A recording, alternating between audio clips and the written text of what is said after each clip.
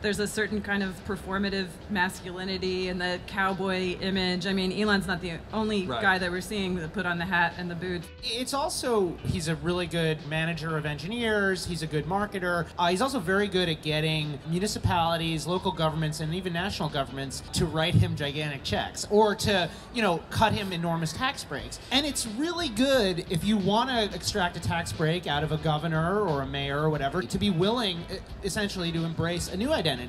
Um, you know, when he was a proud Californian, of course, part of what he was doing was reviving the NUMMI factory. This is the main Tesla factory in Fremont, California, that he got for very little money. Coming to Texas, he's been able to extract some, uh, I, I believe, some uh, pretty significant tax breaks, and he's done this all over the world, right? In China, in Germany, it's it's like a big part of what he does is like find a way to sort of fit himself into policymakers' agenda Yeah, yeah. And, and get paid for it.